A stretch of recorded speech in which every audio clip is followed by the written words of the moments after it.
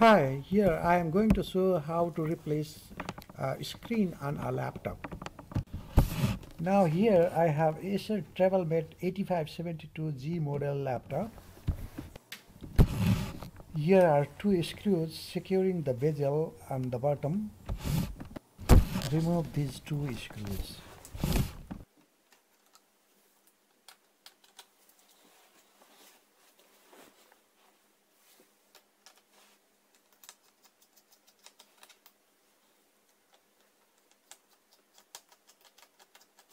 Now I pry loose the LCD bezel with my fingers from the inside and then I remove it.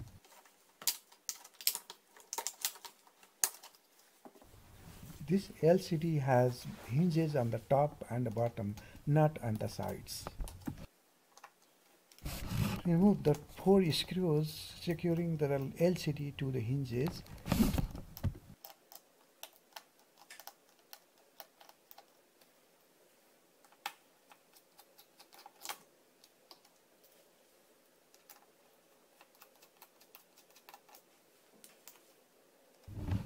Now we need to disconnect the video cable from the LCD. The video cable connectors are very fragile so we have to be very careful. Now the LCD panel is free. I put in the new LCD panel